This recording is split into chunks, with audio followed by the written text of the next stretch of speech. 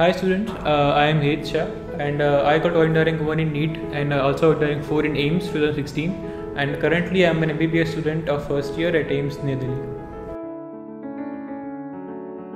Talking about books, I find that the NCERT is the bare essential and uh, for NCERT for biology is the most important. You have to do it cover to cover.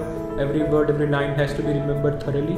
And uh, for chemistry as well, uh, the class 12 NCERT is much holds much value because you know most of the reactions are asked in organic chemistry and in inorganic chemistry are asked from NCERT.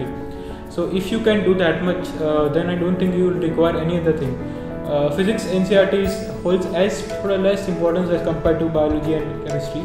And apart from that, as for reference books, I refer to for physics I refer to H.C. Verma, a quite good book for concepts actually, and uh, for D. Mukherjee is a good, good book for MCQs and MAQs, which are not asked in medical but still has to solve them.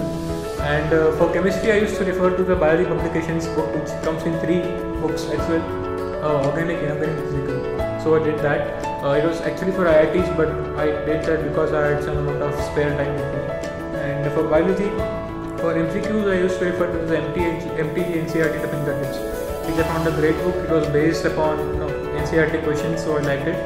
And apart from all that, I also was a, was a you know, monthly magazine subscriber of MTG. So I got PCB today, uh, today, and all that stuff. So uh, it, it had all the papers of last years of you know their own made up made up papers. So I found it quite equally intriguing as well. So I thought all that.